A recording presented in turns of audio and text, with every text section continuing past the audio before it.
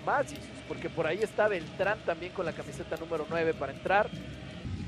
Siete saques de esquina, la pelota viaja por el medio, remate, escupe el arquero.